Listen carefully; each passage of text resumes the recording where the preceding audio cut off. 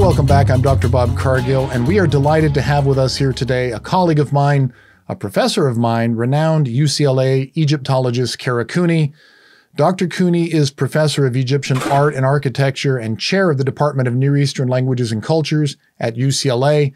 Among many other things, her research focuses on the reuse of coffins, primarily focusing on Egypt's 21st dynasty, as well as the socioeconomic and political turmoil that plagued that period, ultimately affecting those funerary and burial practices in ancient Egypt.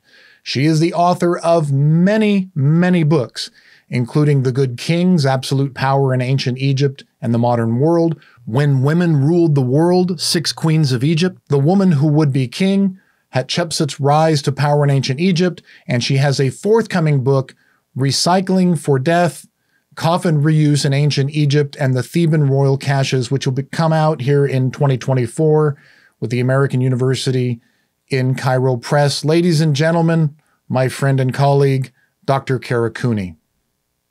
Oh, thanks, Bob. You've just aged me by calling me your professor at one time, but we'll let it go.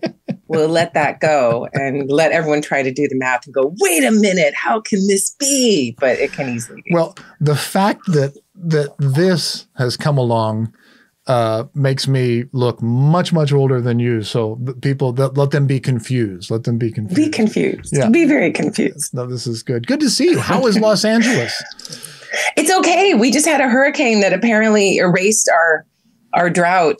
I mean, not from the Colorado River perspective, and not from the aquifers perspective, but apparently the drought is um, is no more for a brief instant in time. Yeah, see what just, climate change has in store for us in the future. But the traffic's still there. Little, yeah, not so bad actually, because everyone's moving to Arizona and Texas and the like.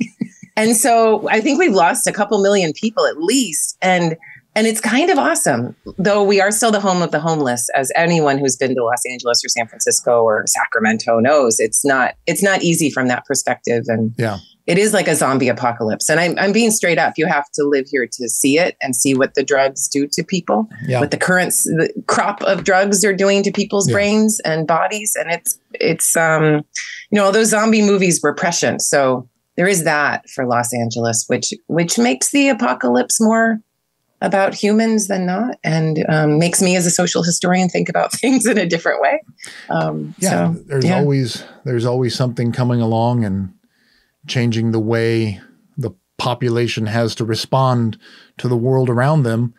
Yeah. and especially those of us who were studying the way that people react to the the pressures on them.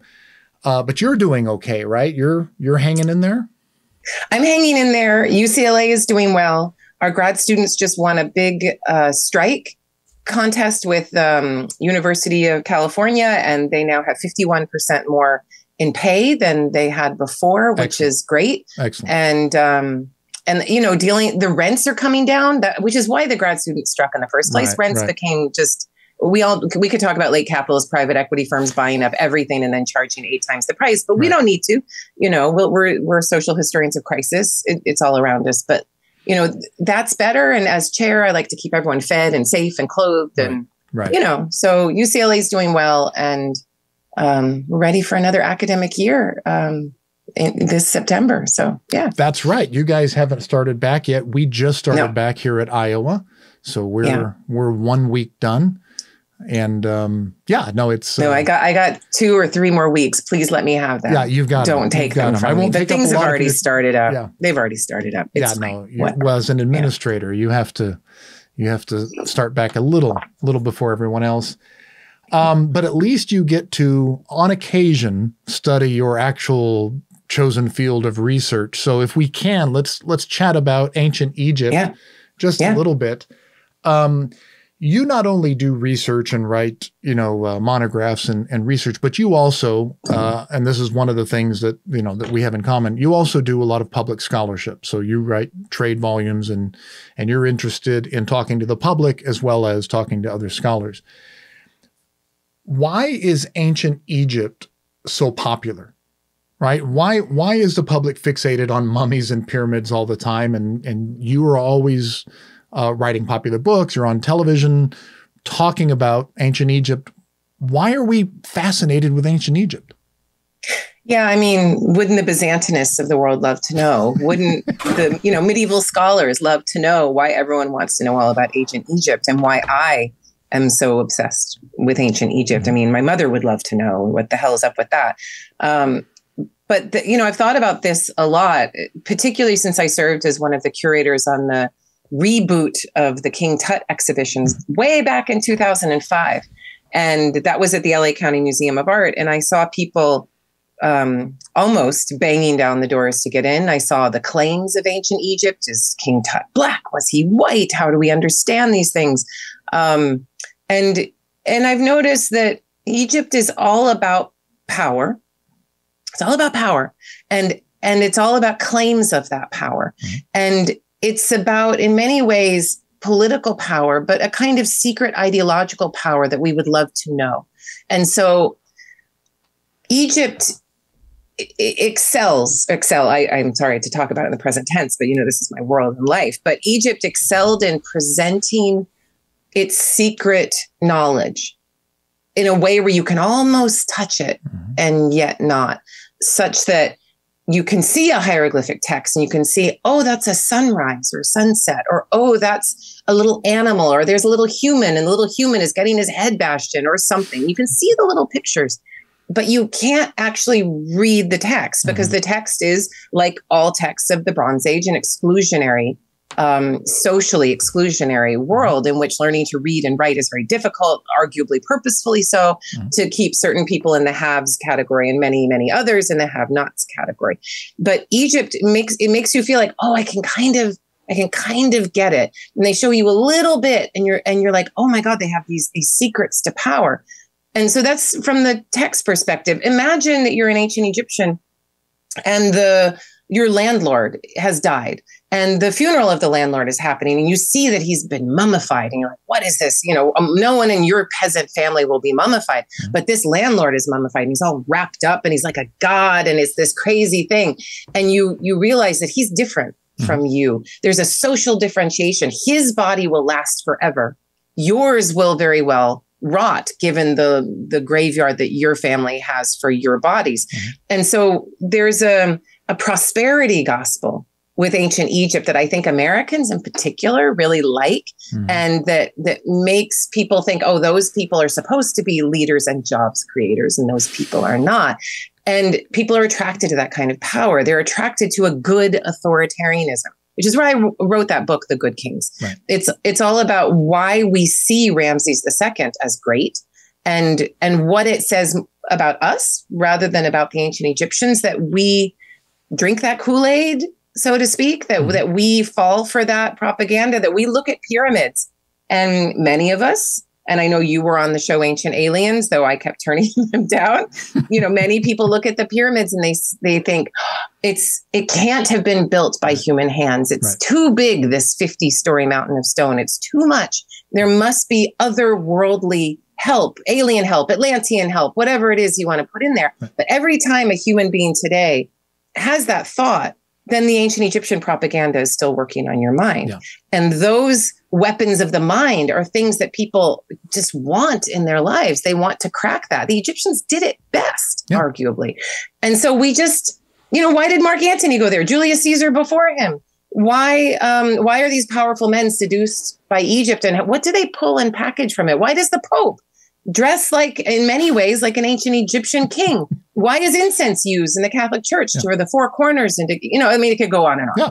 But um, but there's great power there, and and and that's why. And the gold doesn't hurt, does it? No, because that that's so you know, if I like to use my Michael Mann little rubric, there's economic power with all the gold and the minerals and the shiny things. Right. There's ideological power, all of the religion, all of the nationalism. Right. There's military power, Pharaoh striking down all of these different these different entities. And of course there's political power, this unyielding kingship that lasts for over 3000 years unlike any other place on earth. So I mean, it sounds sexy still, right? It is, and it, it's well, and it's a fascinating place. And I always, you know, from what I do for a living, studying the Bible, look at it and add that that fifth component, right? It's you know, is Egypt, Egypt popular because of its tie-in with the Bible and the Exodus and all of that. But you know, we know now from archaeology that Egypt was actually an ally with with uh, Judah and with all of you know a lot of these, and yet by the time the Bible's written down, they're the arch nemesis and the slavery and the Exodus. But the reality of the archaeology was they were a lot closer. So there's some propaganda aspect even in the Bible. Yeah. No, the Bible, I've been thinking a lot about the Exodus story and and looking at that as really a story narrative of the Bronze Age collapse, mm-hmm. the fall of the kingship of Egypt, the fall of Egypt's power, and the power vacuum that is then set up in the Iron Age world. And everyone's like, what the hell do we do now? Mm-hmm. What, what are we supposed to do now that this great Pharaoh has fallen? You know, there's seas parting and people fleeing, but, you know, the back and forth movement between the Levant and Egypt was always there is arguably in some ways still there mm-hmm. though there's some hard barriers between gaza and and egypt but there are ways to get back and forth mm-hmm. tunnels other things um, these places are still connected but um, and ideologically they're still they're still connected yeah. so um, yeah it's um is the Bible important because of Egypt, or is Egypt important because well, of the Bible today? I think it's a little bit of both. It's complex. I, I do think, and I think the affinity there, not just for us today, but in antiquity, was they too were looking at these structures. They too were looking at the gold and the power, saying, "Hey, wouldn't it be nice if we had something like that? How how can we get in on this?" And it it truly was a model for everyone and I and I like. But, the, you, but let me just break in really fast. Yeah. The idea of Pharaoh that the Bible really perfects as yeah. the nemesis, bad guy, evil genius, you know, with his ideological mm-hmm. abilities, is going to be then used by the Romans, the anti king. We would never have a king. That's not something we're going to do. Right. It's going to be used in the Quran. The Pharaoh will act this way or that way. Mm-hmm. The, the, Egypt has provided this, this archetypal or archetypal bad guy right. of power that's that we want and yet don't all at the same time. Right. And just watching Egyptian nationalism deal with this makes it even more interesting to watch Sisi welcome all of those bodies into his presence and his new museum that he funded and built, but to try to differentiate himself from that kind right. of autocratic power. Try, try walking that balance yeah. beam. It's not an easy line That's to, to walk.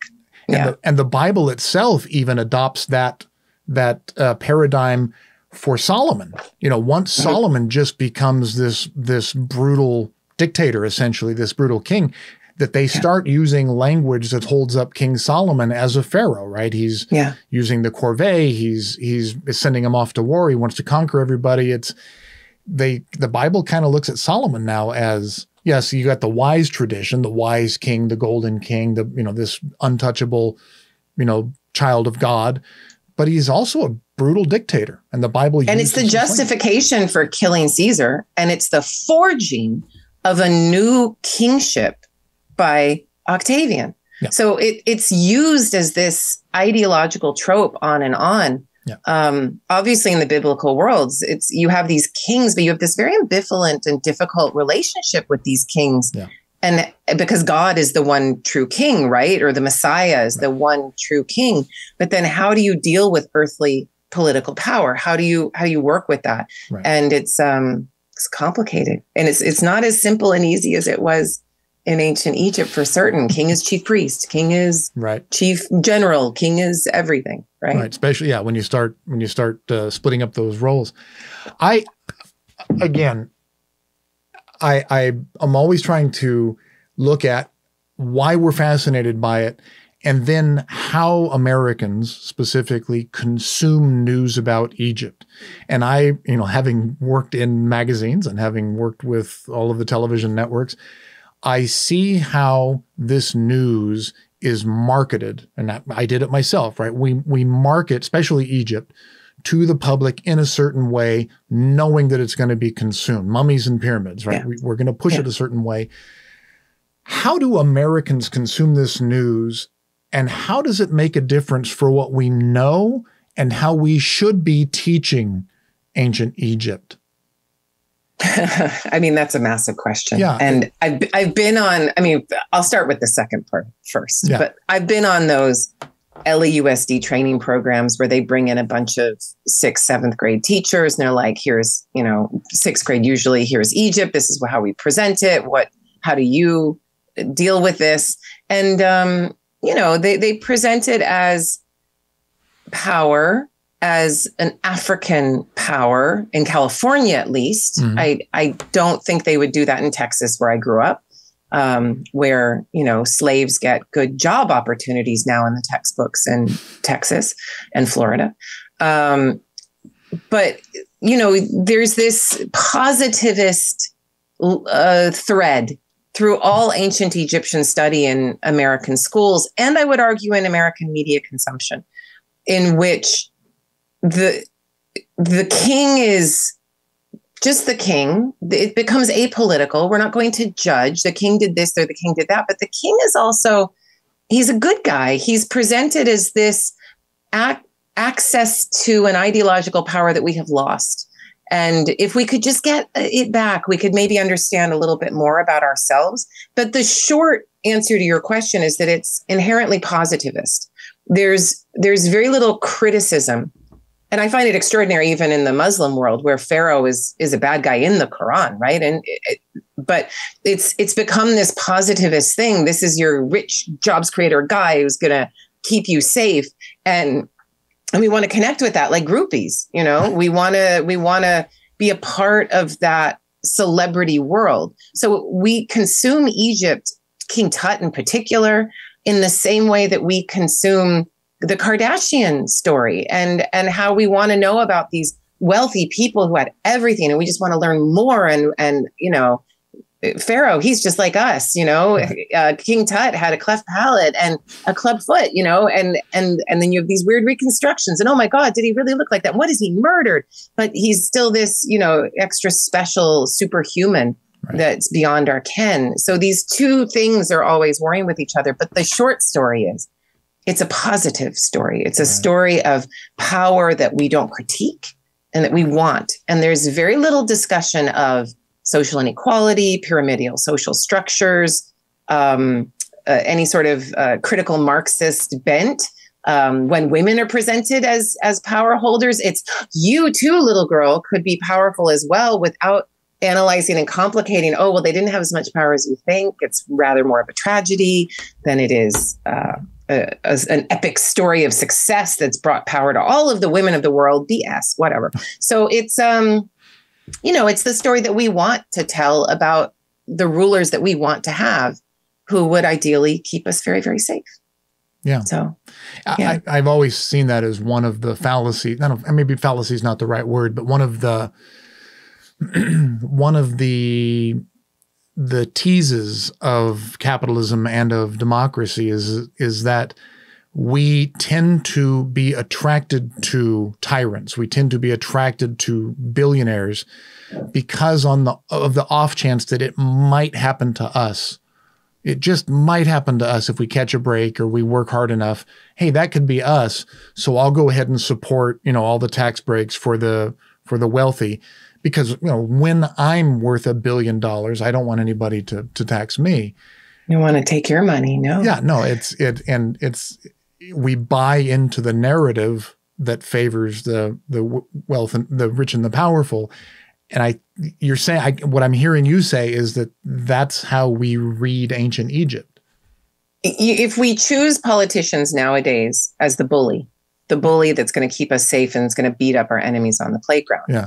Then egypt is the benevolent bully and not just that egypt provides the bully who has access to secrets that mm. would help us to keep our world safer. Magic, mysteries. Yeah. The magic and mystery thing is a huge part of the power of this ancient civilization. People want to know how the dead were treated, how the dead were brought back into the world of the living. They want to know how the temple worked and all of the rituals. They want to know how the king lived. They, they want to know about all of those, those magical mysteries because some sort of understanding of that. If they can glean it, if they right. can understand it, then it might help them in their world today. So, you know, when I give a talk on ancient Egypt, people will then go right to, well, you know, but what, you know, the pyramids have this power to create, you know, they could create electrochemical power or what, or whatever.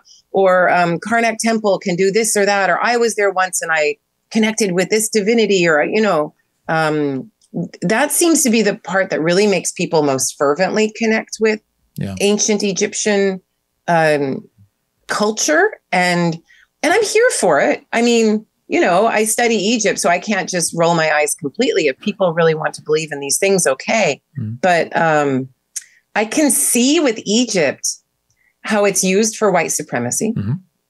I can see how it's used for Afrocentrism. I can see how it's um, how it's claimed by stakeholders, ideological stakeholders in the world today, and um, it's it's interesting to be able to track that and link it to very unequal um, late capitalist structures yeah. today. So. Yeah, I remember when I you mentioned Ancient Aliens when they first asked me to be on it, and I just declined and I declined and I declined, and they finally asked me to be on as the debunker, and they basically said, "Tell us why this isn't the case." And I went on. I did every episode, and I said, "This isn't the case because," and I was the you know traditional skeptics and scholars, and then they cut to this. Uh, and I did that for every episode. And when they did the final cut of the first season, uh, they cut out a lot of my debunking. They cut out a lot of mm-hmm. my skepticism because it made too many of the viewers sad. Yeah. It, it, it just, yeah. It, they wanted the, the prospect, especially when it came to the Egyptian stuff. They yeah. wanted that possibility that this is, they just didn't want it to be a lot of sweat and toil and hard slave labor thrown at, or you know, or paid labor even thrown at. What is draft labor? There's a very yeah. fine line between draft right. labor and slave right. labor. no, it's you know, Egypt didn't need slaves because it had more than enough of its own people to exploit. So you tell me if that's like a noble thing to right. not have the pyramids filled by slaves. I mean, know. right? No, no, anyway. that's what I was. I corrected myself yeah. there, but yeah. you know, these poorly paid people that they were just throwing at it with you know without all the OSHA regulations and yeah. uh, and you know, and they they you can achieve monumental things if you just don't care about how you treat people. And and it's on both sides. Like yes. my book, The Good Kings, upset. I remember one of the first talks that I did for that book was for an ARCE chapter, American Research Center in Egypt. And ARCE chapters are full of Pharaoh's groupies. They're full of people who are like, I love ancient Egypt and don't question why. But usually it's white people who have reasonable amounts of wealth and generational wealth in particular who think they've worked hard and have all of this and, and put all of their love and connection to ancient Egypt for whatever reason. I'm not saying that every ARCE person um, is is a white supremacist, but I will tell you that the first time I started to present my work in the Good Kings to an ARCE group, there was tremendous pushback from white men in particular, telling me that I didn't know what I was talking about and all, who the hell do you think you are? And connecting these Egyptian kings to authoritarian rulers and asking what is authoritarianism and why is it seductive to us? Very upsetting to people. But it was also upsetting to Black Americans and to uh, people who study ancient Egypt and connect it to the to their heritage mm-hmm. in in a, an African sense, because then I'm taking Egypt and saying you know, these people were incredibly socially unequal. These people represent the authoritarianism that we should all be fighting against.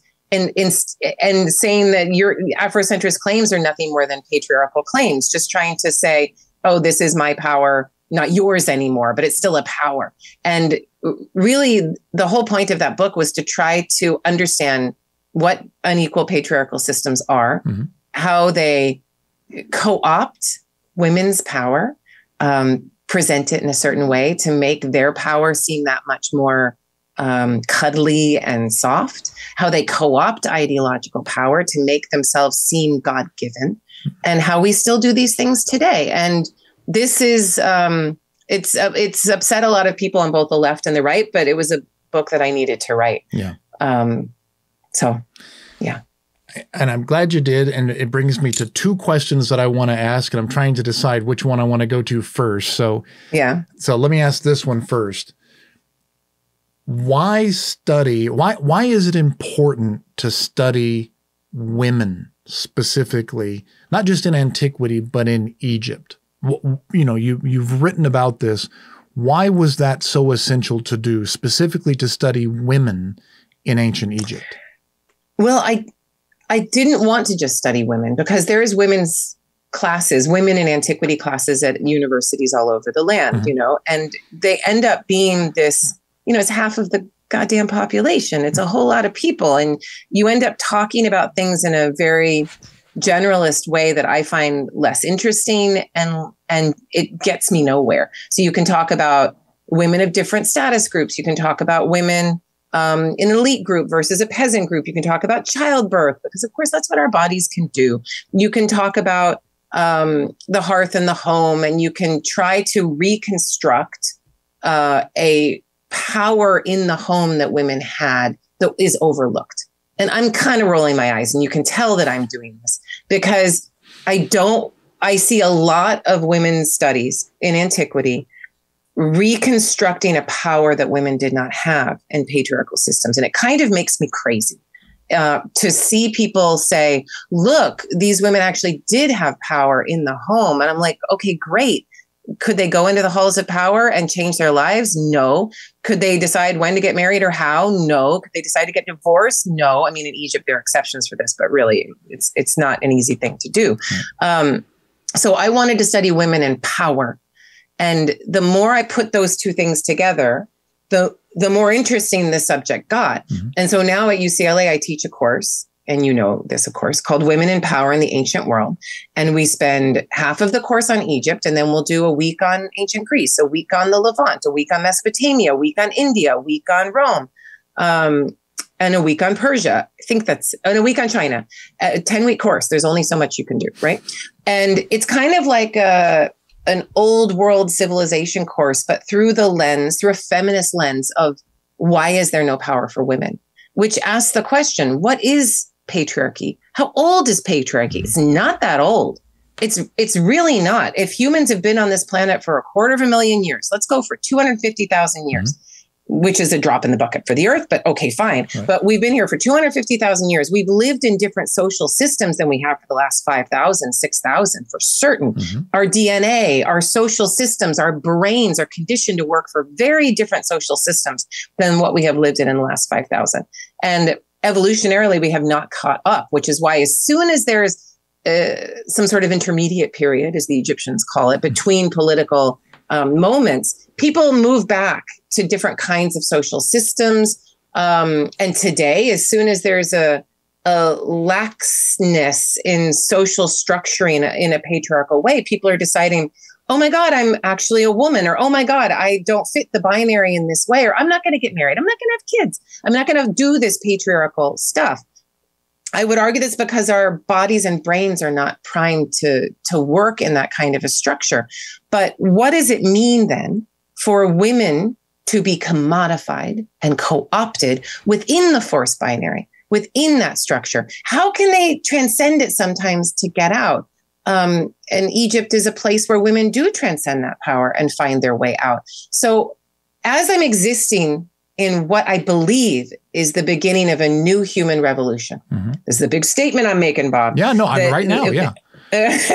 I think we all feel it, left and right. Everyone knows we're on the beginning of the human revolution. Right. I, I, imagine it was like this when the agricultural revolution began, and people were like, "Wait, what the hell? People are moving to this weird city over there, and they're like collecting grain and shit." Okay, and and some people will go and they'll hear about it, but it's they feel that something's changing, right? Right. right. And the industrial revolution, people are like, I can't see my hand in front of my face because there's smog everywhere in this weird city of London that we're in. Or Alexandria, you know, could argue the, the Industrial Revolution started in, in late antiquity. I think you could do that.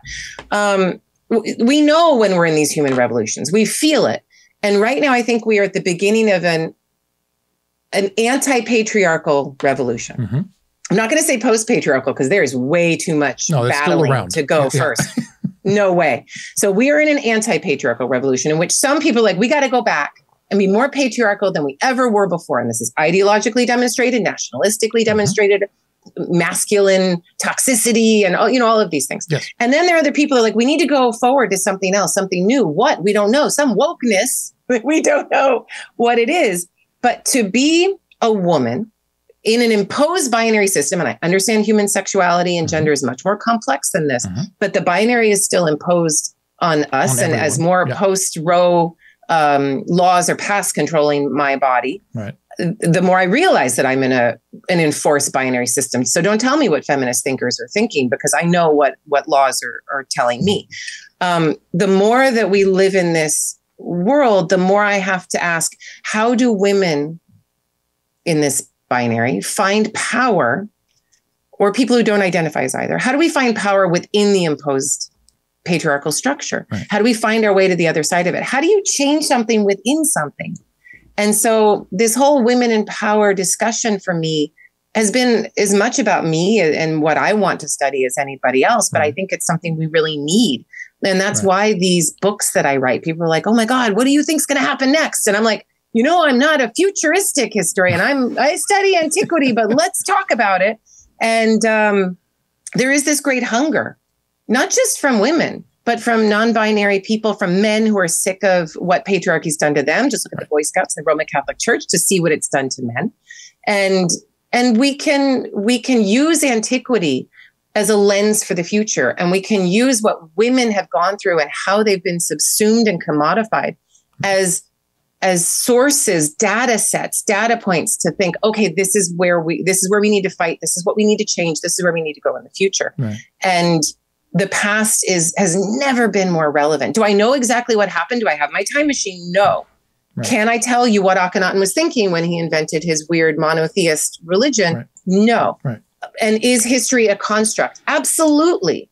But if it is a construct, and we do have these data points, let's try to understand where humanity has been Right. so that we can understand where the hell we're going. And and so, and this is what I like about your work, but also about being in a classroom with you. And this is why I think no matter how much we go more online and how much we learn from videos like this and and just it's still going to come down to being in and around scholars who are, to quote Alanis Morissette, you know, the only way out is through, right? You, yeah. you, you can't go back and you can't just report on what happened yeah. You have to work through these things. And the only way that I can work through these things is to look through these, you know, very male, very white eyes, but an, in an attempt to try to glean from people who don't look like me and don't act like me in the best way possible to understand how others are experiencing this life and how others experience history.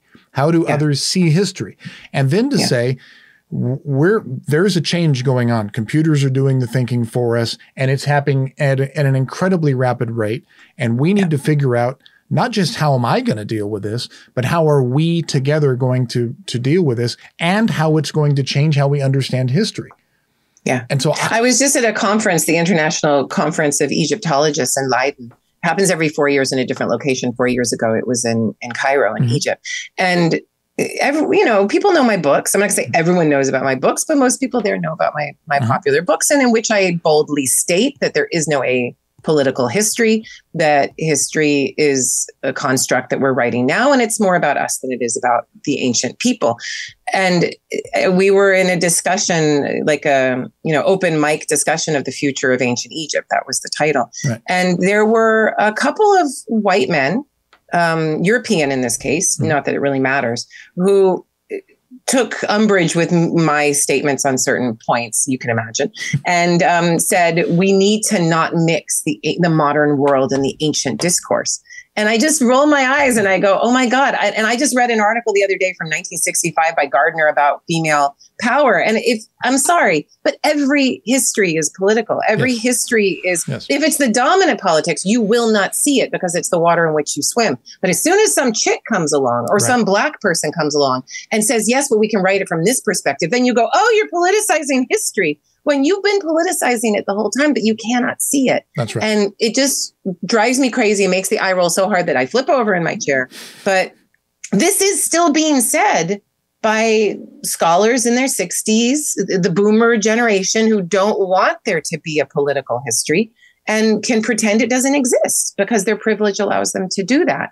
And it's super frustrating. I also heard women my age saying, you know, there was a discussion about women in power and queens right. and whatever, because we got all these queens. And and they're like, oh, thank God you're talking about women who have power. I'm so sick. And this was a dig at me, and I'm mm-hmm. not stupid, and I know this. Mm-hmm. I'm so sick of people saying that women didn't really have power when they absolutely did. And I'm just like, okay, so why don't you tell me then what their legacy was. Could they hand it on to their daughters? Were they able right. to change the system in any sort of feminist right. way? Hell's no. Right. They weren't. But you want to keep create your fiction because you're in an entitled privileged place and you want to feel good about it. So go for it. Um, but it just, you know, it, it it it drives me absolutely insane. Yeah. So yes, I obviously get very yeah, no, no, but th- but this is the the myth of teaching objective history is that it just empowers the status quo, right? If you, I, I just teach it objectively, yeah. all that's going to do is continue to to enforce, reinforce whatever system we're in now, and yeah. to to pretend that okay, I'm going to teach it from a particular angle. Okay, now you're just pushing one. So I like the idea of getting three or four or 10 or 20 different views on this. And, you know, this notion that we're, we're having to suffer under that you cannot teach a political point of view when you teach history, or God forbid, you can't teach certain points, aspects of history to kids because that's going to offend them. What it is offending is their parents. The, when I teach a second grade class, and I've done my share of these, right? You go into the second grade class where they do Egypt, and I'm like, okay, you guys know when somebody's got an awesome pair of sneakers and you want those sneakers, but your parents can't afford them? Well, mummification was just like this. Their eyes are like, they get it immediately. Yeah. Those kids were brought up in capitalism. They know exactly what it means, right. what this social inequality is all about and and the more they think about it the more they're like oh yeah this isn't this isn't fair. And nobody teaches it that way. And, and one other thing and i'm not trying to say oh my writing is better than other people's writing but i i will say that making things entertaining modern and relevant is a hell of a lot more interesting than most of the coffee table BS books that are written about magic and mystery in ancient Egypt. I mean, how many facts can you possibly squeeze on a page and then people fall asleep and nobody reads these things? But they publish them because people buy them because they think they're going to find some mystery in the book. But no one's telling a story. No one's telling a narrative that connects with why we need to know. And it kind of drives me crazy. And as soon as you say, oh, we need to know because it's about us, then the story gets that much more interesting and it's super readable. And I had a conversation with a colleague who just retired from the Brooklyn Museum of Art as a curator, Ed Bleiberg. And he goes, Oh my God, Kara, I was reading your book and um, and I'm sitting next to my wife and I'm laughing. And she goes, What are you reading? I thought you were reading an Egypt book. He goes, I am. She goes, You never laugh when you're reading Egypt books. And he goes, Well, this one's written by Kara. And I'm not saying, Oh, because I'm so funny or so awesome. I'm just saying that as soon as you start making the connections and people will go, Oh my God, then it becomes that much more interesting and engaging than what we're currently doing, which is deadly boring. You have deadly. to personalize it, and you're and you're talking about mm-hmm. writing like multiple publishers have come to you and asked you to write books. I mean, who, who knew? I know it's like it is a weird thing. Back. And yeah, it, isn't that odd? Also, who knew, Bob? Because the first when I a lit agent approached me and he said, "You need to write a book about Hatshepsut," I told him no. I said, "I don't want to write a book about Hatshepsut because I was a young scholar. I'm like, I do the 19th and 20th dynasty. She's 18th. What would people think?" And he said, "You know, why don't you write about a powerful woman?" And I was like, "Oh, well, okay." Maybe I will. And I and I did, and I had to learn all about Hatshepsut. And you know, it's it's kind of the gift that keeps on giving. These these women are like they keep tugging on on me. They keep going, nope, we need you to tell another story. Nope, you have to write something else. I'm like, come on. Now I'm like the the popular, you know, chick lit uh, nonfiction woman. Okay, but they're like, no, I need another. Yeah. I need you to do something else. I'm like, all right, fine. I'll, this, I'll this was the transition that I I'd like to think that I I, I was okay at making it because I was already pretty good at lecturing and stuff. But when I first uh, was signed to do cities, I kept writing a textbook, and they kept saying, "No, that's not why we signed you to do this. Tell yeah. us about you. Make it relevant. Yeah. Tell get yeah. get emotional. Get." And you know and when i'm in the classroom that's what i do. And they they yeah. they come. They they I, they're fixed. And you have to write that way. You have to write with a passion. And there's just so much pressure upon scholars to be stodgy and you know to well be, let me tell you my popular books have not served me well in terms of uh, popularity among my colleagues because they i would say more of them than not think that it's a waste of my time yeah. Uh, I, honestly. Not honestly. This one, not this one.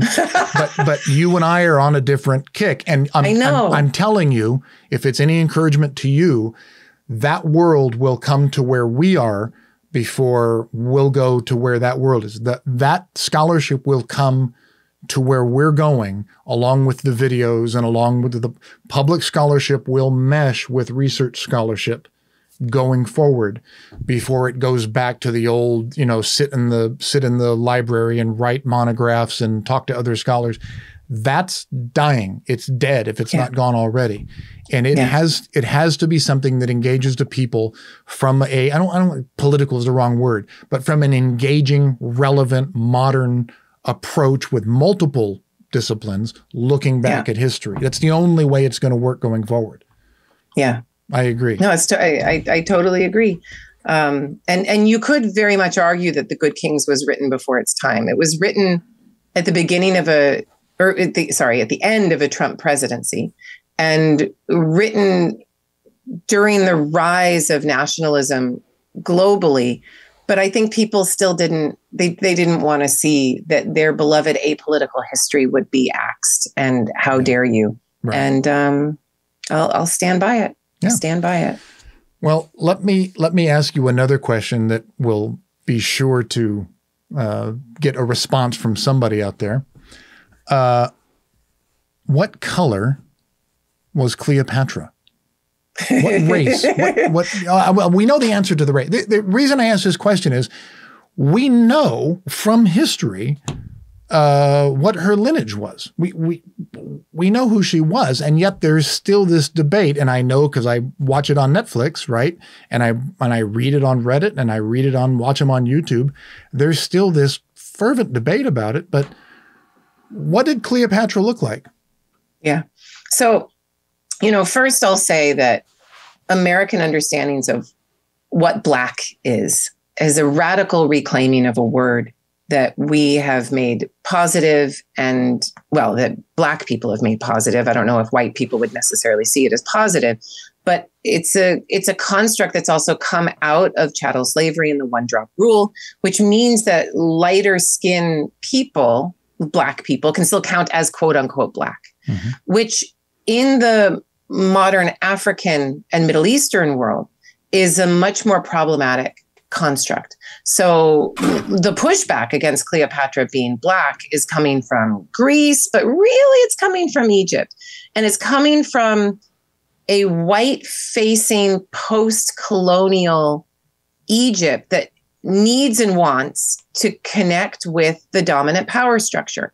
And colonialism is a white uh, construct in, in Africa, and it created all kinds of horrors and social inequalities and problems, and split an elite apart from a, a massive peasants in most African countries. And that elite was generally more aligned with a lighter skin color and their European overlords, mm-hmm. whether they be French or British or whatever. Right. And so we're dealing with two different ideas. So you, you, can throw the word black around, which is what's thrown around. Right and it's a word that doesn't communicate. It, we Americans know what it means. It does not mean the same thing in Arabic. It's a right. bad word in Arabic. It's a word associated with enslavement, with servitude, with being less than human. Mm-hmm. It's also a word th- that nowadays, with the construction of Nile dams built in Ethiopia and Sudan, with an extraordinary political competition right. between what we might call sub-Saharan Africa, though that's becoming quickly a racist word, this mm-hmm. sub-Saharan word, and North Africa. And so th- there's there's an impossibility of talking about what color even means, right? Now, having said all of that, Cleopatra comes from what we might call the 31st dynasty or the, or the Ptolemaic dynasty, beginning with the general Ptolemy the First of Alexander the Great of Macedonian descent, so Greek mainland, um, is left in Egypt at Alexander's death, takes over, marries um, a relative, and then you get this very close incestuous dynasty that is the longest of all Egyptian dynasties at about 300 years. That's, that's pretty amazing. Lots of full brother sister marriage. So, uh, you know, how much full brother sister marriage is actually going to work practically, it's not. There are a lot of Ptolemaic kings who are the product of a mistress, who are bastards, um, to use a, a Latin based word, um, though the Greeks had their own, and had this idea of a monogamy being the only legal way of claiming power. But you can't make you know, the Ptolemies, for whatever reason, got rid of the harem and yet connected with incest to keep power in a way that the Egyptians did not. Right. So it's it's a strange um, mix of some Egyptian things and some non-Egyptian things. But you have this very long-lived dynasty that's full of inbreeding from this Macedonian family, and yet also full of mistresses, many of whom may be Egyptian. Now, some of those mistresses could be from Naucratis and maybe um, people of Greek origin originally who are there in the Delta um, and and not really Egyptian um, in an indigenous way, if we're going to use that word, which mm-hmm. is a problematic word for Egypt. But some of them may have been more indigenous Egyptian. Most of these mistresses were probably not Southern Egyptian or Theban, but who that? What do I know? Right. Um, it's completely possible. We have we have no way of knowing. But what we do know for Cleopatra is that her mother is not really mentioned. And if her mother would have been mentioned, which we would expect, then it would be, I think it's Cleopatra the fifth, I think, um, unless I'm getting that wrong. And this is Cleopatra the seventh that we're talking about. And I think the sixth doesn't really exist. But again, this is not my time period. Um, but because her mother's not mentioned, and because this woman, Cleopatra the seventh, spoke and read ancient Egyptian, it makes me think, it makes other scholars like Matthew Roller think that she had an Egyptian mother because as archaeologists know, um, language is often passed through the maternal lineage. And if you just hang out with a, a mixed race or mixed nationality, mixed language couple, you will see that language passes more easily through the mother in this patriarchal system because that's the, the domestic language of the home. Whereas if the father comes in from a different place, the language is not as easily passed down because the father is outside of the home, the mother's inside the home um, in a patriarchal structure, right? So if language and and um, being able to speak, being able to be immersed in something is very often connected with the maternal lineage. And because she was the first one, we are told, to be able to speak and and read Egyptian, then it, it makes me think that there's something else going on here. That she could very well be a quarter or half Egyptian, depending on the identity of her actual mother, who is not mentioned. Mm-hmm. So and and that's just Cleopatra. Right. What was the lineage before? How many mistresses were there? Right. who produce children and then what what else is going on? So you know and was she white? Is the is what right. you know is she elizabeth taylor white? Right. hell's no. Um this is a we i was just told by um by a minister from the ministry of antiquities that that elizabeth taylor is the perfect cleopatra. She's great. Um and and yet this netflix one was was wrong. The the Jada Pinkett Smith, Smith Netflix series is horrible. it's not a quality piece of programming. So I'll I'll leave that there. But you know, they picked a woman who looks Egyptian uh, to play Cleopatra rather than picking a woman who um, looks maybe Macedonian Greek plus Egyptian. Um, they picked somebody who arguably looks more like she's from Thebes um, than somebody who's from Cairo or or the Delta today.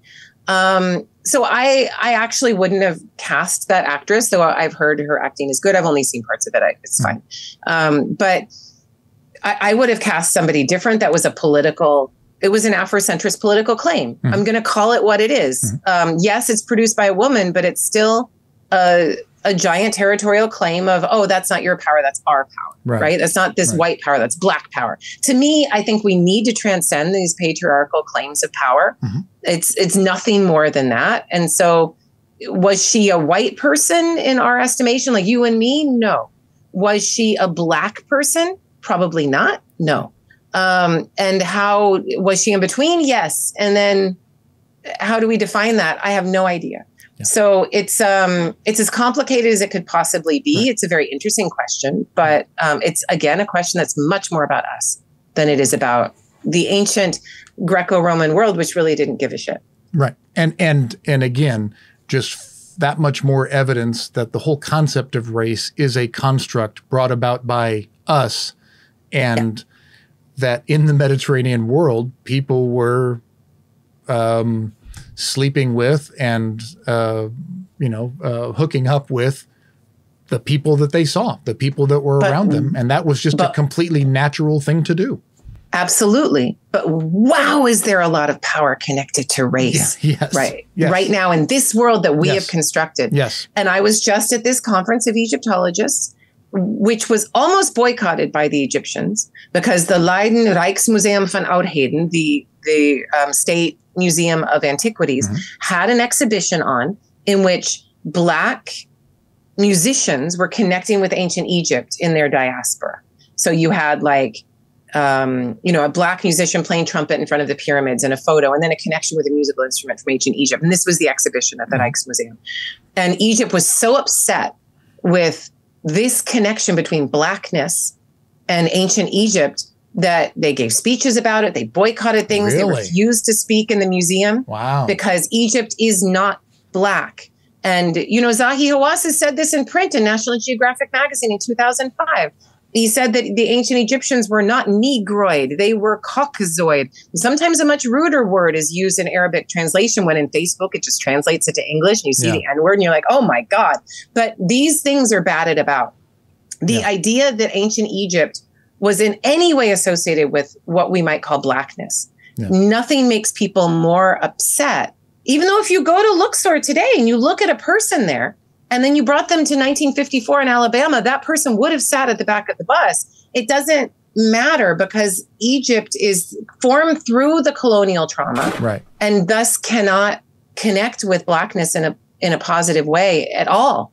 Um, and Black Americans do connect with it in a positive way, and so you have two agendas working in opposition to one another. And it's an interesting time. To, it's an interesting way to see it, but it's all about power. Yeah. And um, I would rather again transcend these things and and try to look at it through um, different kinds of lenses. We can be inclusive, yes. but it doesn't have to be about ter- territorial claims. Agreed. And it's it's the importance of reading about history and reading about and having actually broader, more in-depth discussions about what was actually going around uh, on in history instead of just trying to answer the question uh, with a you know with a 10 word answer or with, with a with yeah. that 20 second soundbite yeah some questions can't be answered that way and so no. you gave it's a, not the right research question to ask it's correct. a research question about us correct um, you'll never know you'll yeah. never know and and how interesting that we think of the ancient egyptian kings and then there are all these claims oh the ancient egyptian kings were black well the theban kings probably would have counted as black right. in the american definition right? right? Maybe not as dark as somebody from Ghana or Nigeria, certainly not. But they would have counted in an African American perspective as black. Right. Whereas Ramses II wouldn't have because his ancestors are coming from the Northeast Delta, arguably from the Levant, going further back. Right. You have a West Asian kingship that has a different look to it. But there's always intermixing. There's always wives and, and different genetic strains coming in. and I always look at that National Geographic um, you can't get the data for it, but you can. They they did a, a study of the current population of Egypt and make the claim that some seventy percent of the population is the same as what the ancient Egyptian population would have been, which means that you do get a 30% of the population brought in from um, occupation through ancient Greek um, and Roman times. You get population brought in from the Arab um, elite replacement. You get new population brought in from from colonialism through through time, but that you know thirty percent is very small um, in comparison to the hundred million people that currently occupy right. Egypt. So you know the, most of them are of ancient Egyptian origin in their genetics. This is absolutely fascinating, Kara. Let me ask you. Um, you study death a lot, and you're not a very yeah. uh, morbid person, but but you study death let me ask you this. What does studying death, especially death in ancient Egypt, tell us about life?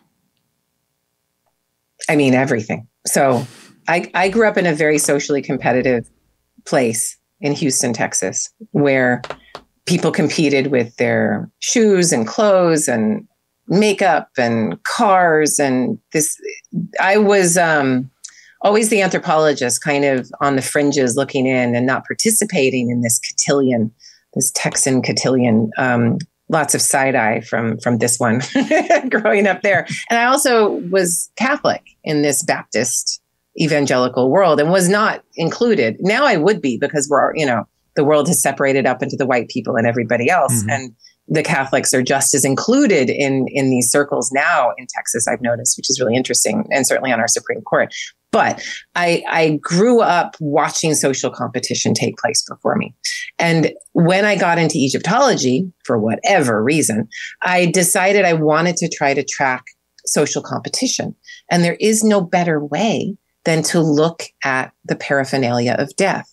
Mummification is one way but studying dead bodies takes you know a whole forensic education and isn't necessarily my jam plus they're smelly and i don't know so you know you have to really love that forensic archaeology that, that wasn't me so i started to look at coffins in particular because it's particularly for the new kingdom and third intermediate period it's representative of a person and it has texts on it that talk about all kinds of social aspects the gender of the person the title and occupation of the person. And then you can look at the coffin itself and you can understand spending abilities ideological access you know did they know things that they're representing on the coffin that other people didn't know?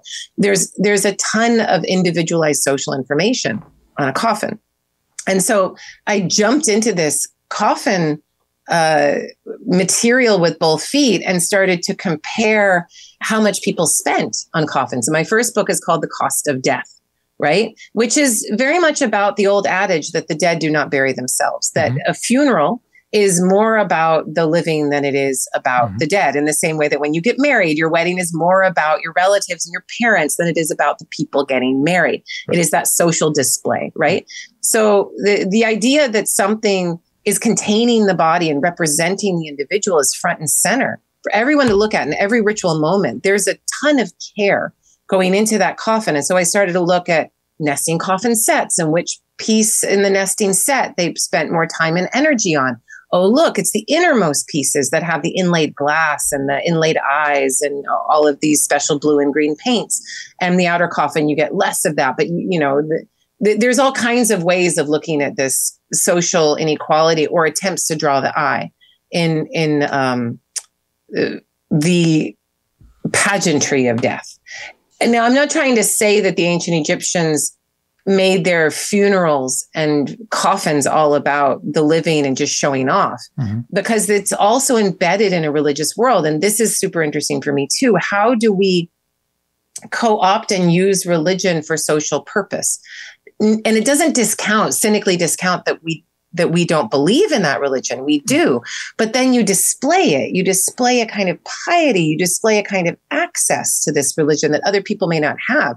And if you disbelieve me, go hang out in whatever church you're part of and listen to certain vocabulary, yeah. little turns of phrase where you're like, oh, that person's very far into this particular cult, or mm-hmm. this person understands how an evangelical Christian should speak to another evangelical mm-hmm. Christian, and, and they're a part of that group.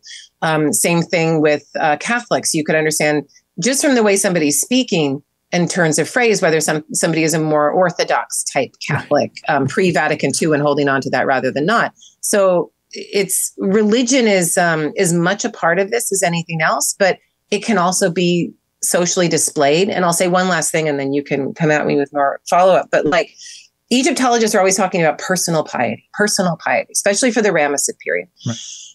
And so you'll walk into a tomb chapel that's decorated for the living to enter and to connect with the dead, and you'll see that there's all of this religious information, and Amen is there, and it's and everyone's like, oh, it's personal piety. They're they're everyone's more fervently connected with the God in the 19th and 20th dynasties than they were in the 18th. And I, I have a different thing to say about that. I think they were just as connected to the God in the 18th as they were in the 19th. But this, what we call personal piety, uh, is actually a social display mm-hmm. of people saying, I connect to the institution of the temple, which is giving me my job, mm-hmm. which is keeping me safe, more now than I connect to the institution of kingship, which I did in the 18th.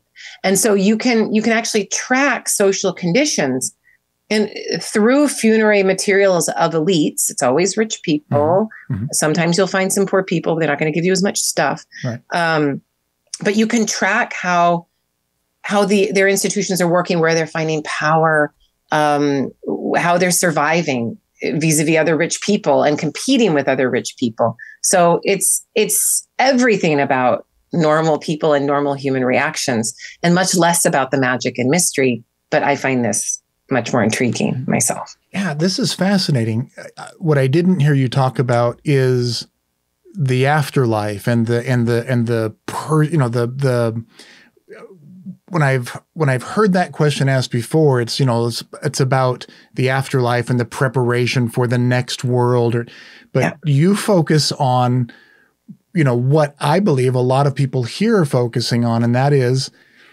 um, that funerals are more about again, as you said, the living than the dead, and yeah. it's about um, the ritual. And yeah, I, have I've performed uh, a lot of funerals. I've done far more weddings. Um, but it's always interesting to me when I when I get the bride and the groom together that they're saying, "Well, we want this and we'd like this."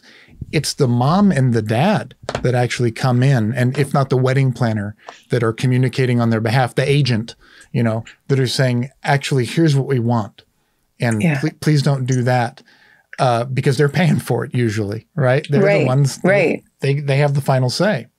That's and there's a demand for conservatism. Yes. So we come in as scholars and say we get a wedding from 2023 preserved, you know, right. you get the program and you're like, oh my God, they're reading Psalm 48 or, or right. whatever. And they're doing this. And oh, there was this, and we'll talk about it in our scholarship as this very um, known effort on the part of the people commissioning this wedding to connect with a certain text. And, and right. it's not that those things aren't real, but when you're at the wedding, who the hell cares about Psalm 48? They're looking at what the bride is wearing. They're looking Correct. at who's there. Correct. They're looking at the whole pageantry of the wedding. If something go, if something is a little too woke or in a religious structure or is a little too religious in something that's supposed to be woke, everyone's going to talk about it. Mm-hmm. I remember the first time I was at a wedding where a woman promised to obey and I was like, oh, I would never. Right. And but but there's these lines that have to be maintained and crossed or not crossed. Mm-hmm. And and this is where the it's it's kind of it's always a tension.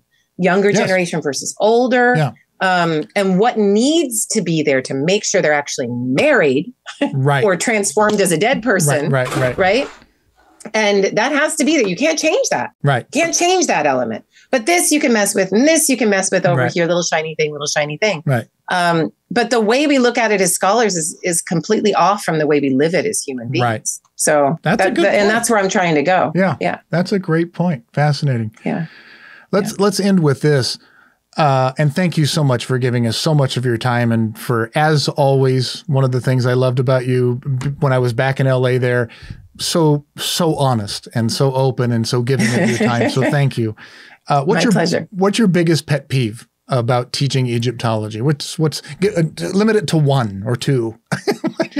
I mean, uh, I have so many right now, and I've already brought up a lot of them, Bob. Yeah, so you have, I can come up with new. Like the idea that women were powerful. And I'm not saying that Hatshepsut wasn't powerful, but they pretty much destroyed her daughter on the way out. um, the you know it's funny this this idea that we can't mix modern and ancient politics yeah um, or that we can't make history political right is often given to me from the same people who claim that like I just got okay, so I just got an article review, and you know what this is like when you get an article review. Reviewer number one, reviewer number two. Here's what you have to do after your right, your right. blind review, and I am writing an article about um, women in power or sexual power, and I'm using the Michael Mann framework: ideological, economic, military, and political power, and I'm adding this an S, a sexual component sure. to this structure. And I, the reviewers are telling me that you you put this into a binary world how dare you? You haven't connected with all of the feminist literature how dare you? And and i'm like look we can can we can make history political but you can't impose a woke politics on the ancient world that didn't exist. And i right. one of the reviewers said gay men react to their babies. I'm like do they leak breast milk? Because you know i don't see that happening in the binary construct with a man's body in the way that it happens with a woman. So you know when that happens we can talk but it's it's it's still a fine line. It's not either or. It's not one or the other. If we're going to make history political and about us, we still have to embed ourselves in the structures of the ancient world and try to work with them as legitimately as we think they were. We can't make women more powerful than they were. Correct. We can't make men's bodies respond the way that we want to in a transgender world. Correct. And and so there there's a little give on each side and okay. i mm-hmm. hate it that it's an either or sort mm-hmm. of discussion you, so it makes me kind of crazy yeah and and if you could hear the conversations that rosalind and i have about this very issue that yeah. it's you are attempting to impose an ideology on reality and not just a reality yeah. but a reality in history where this ideology didn't yet exist it mm. cannot be done. And then yeah. on top of that, you're going to say, and therefore you're not going to be my friend. And we ostracize people and we stop talking to people and we cut up into our cliques. It is the exact opposite of what thoughtful, open mind ought to be doing. Yeah. You cannot do that. The only way out is through. We have to talk to each other about it. You have to teach this history. We have to hear these different points of view. That's the only way out is to actually talk about it. And for both sides, both ends of the political spectrum, to actually be honest about what's actually going on. You can't pretend that this thing that wasn't a thing yeah. is is that this is the same as this other thing, and I'm being very nondescript because I look like this, but uh, you know, I I I I'm I'm I understand the reality, but I also understand that a lot of the things that we talk about today didn't exist, or they were at least highly or were not allowed, or had to exist in a deep secret cave. Correct, and now, yeah. thankfully there we are in a world that is beginning to and i'm all for it rights and and you be whoever you want to be and live your best life and marry who you want to marry. I'm on your side but let's at least be honest about who we are and you know genetically who we are who we want to be what these ideal ideals are and how those differ from all the different other different iterations and historically. And let's have yeah. that conversation and let, then let's go out and have a beer. What it is generally is people starting with the ideology rather than starting with the nuts and bolts yeah. of the economy. And I always start with the economy. If you start with the ideology and you pose that, impose that on the ancient world, the ideology of women in power now, right. then you'll find all kinds of women in power that continue their power, and you'll right. make up all kinds of mythologies and fantasies, and and you'll recreate a new history. If you start with the with the economy, and you ask, how do you find an economic power in a harem community of the king? Like, we're not allowed to use the word harem anymore, Bob. And I'm like, look, I think the women who served in such a structure deserve nothing less than a word that makes us feel uncomfortable yeah. because that word was economically meant to produce as many possible heirs for the king in this unequal society as possible. Right. It needs to be talked about in that way. Are you not going to use the word enslaved person anymore either? Right. It's, because it's the same thing to me. So it's you know it's um it's uh if we economically look at the woman in the patriarchal society, then you start to see her very much as livestock. That may make you feel uncomfortable, but you know what? It's the damn truth. It's supposed to make you uncomfortable. It is. So I would rather start with my equation to a cow in the ancient world. And and how does that how does that subsume me? How does that control my body? How does that make me go to the house and do laundry all day? And take me away from the halls of power? How does that put me in a relationship that's asymmetrical, where I'm controlled from the age that I can produce future babies? Mm-hmm. If I start with the economy, then I and then I see how ideology is laid over that, yeah. then it's gonna all it's gonna all make sense. But people, um, scholars like to start with ideology rather yeah. than economic structures, and I, I find that wholly problematic. Yeah, follow the money. Follow the money. No, I'm follow I'm, the money. Yeah. Or what? How did they yeah. say it in the '90s? It's it's the economy, stupid. Something yeah, like that. Exactly. Thank I said you. that to a, a, non-American the other day, and they're like, "Oh my God, you just called me stupid." I'm like, "Oh no, no, no, no, no, no, no, no. This is a Clinton quote. Yeah, no, this no, is no. an old. It's a James Carville line. Uh, Kara, thank you so much for taking the time. This is fascinating. I cannot wait to uh, to look at this myself and to see how we're going to get in trouble uh, oh, I love it. you know, I love it. But it's true. I mean, every everything. This is a great conversation, and I can't wait uh, for all of our viewers to see it. Uh, please uh, take care of yourself. Stay safe on the streets of Los Angeles. Watch out for the floods. Uh, and and uh, from everyone here at Bible and Archaeology, uh, thank you for being here and everything the best. Thank you so much, Bob. It was great fun. That was great. Yay. Thank you so much. Good this, job, was, team. this was fascinating. Yeah. This was great. Well All right. done.